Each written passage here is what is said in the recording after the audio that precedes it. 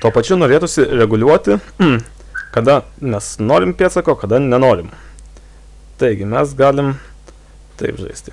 Kai paspausta rodiklė žemyn, mes pieštuką nuleisim. O kai paspausta rodiklė aukštyn, mes pieštuką pakelsime. Ir štai žiūrim, kas gaunasi.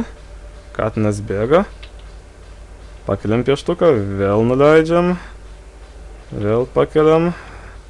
Ir taip galima žaisti.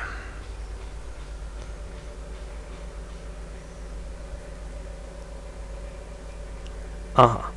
Paspaudus tarpą išvaloma scena.